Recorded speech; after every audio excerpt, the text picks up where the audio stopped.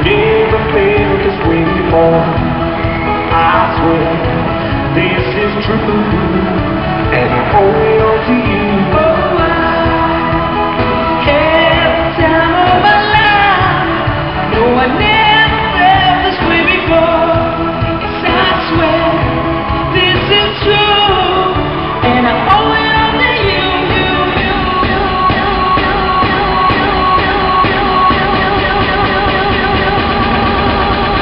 it.